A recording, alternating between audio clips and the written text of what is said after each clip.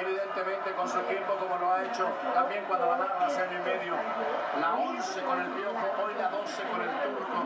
Y es muy representativo este título, porque por fin pueden superar a las Chivas, a, a, a la acérrimo rival. Al acérrimo rival que no está tampoco en sus mejores condiciones. Una Chiva que el próximo torneo va a empezar a pelear, a disputar, no descender. El América sencillamente está aprovechando el mal momento de Chivas, está aprovechando que han llegado buenos técnicos y Lo hicieron con el Piojo, lo hacen ahora con el Turco Mohamed.